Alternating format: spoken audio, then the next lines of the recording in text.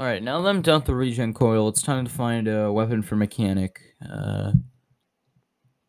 Oh, the. the Alright, well, never mind. Uh, there's none for. There's not even. There's none for medic, none for sniper, none for agent. I don't want to loop back. That would be so awkward.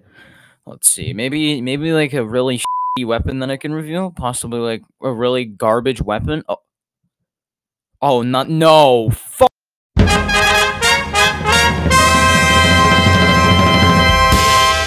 The name of this weapon is pretty fitting because you'll need a first responder after using this thing.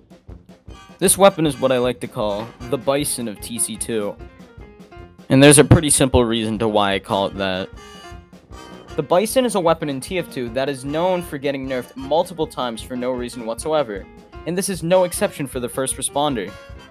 I remember playing with this weapon back in 2021 where it used to give you healing on hit. That was not bad, I mean it was probably the worst minigun, but it still was actually useful. However, on April 11th, 2022, they removed the slightly useful heal and hit stat for a plus 50% refill on lunchbox items on kill stat. This makes the first responder a direct downgrade if you have a shotgun equipped.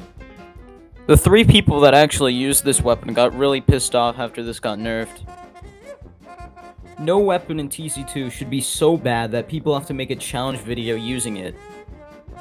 If there's any Rolf devs watching, I'd like to ask for you to please just revert the first responder. It's so bad and I would love to see it reverted. Thank you.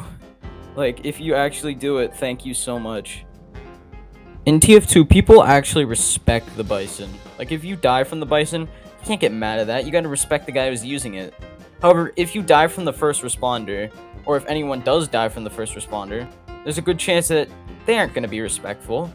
They're gonna be a piece of shit in the chat like they normally are. Like, oh, Heavy's unbalanced. You should nerf him to the ground. Bro, just give him a break. Thank you guys for watching this video. I hope you enjoyed. Please make sure to like and subscribe. Thank you, and goodbye.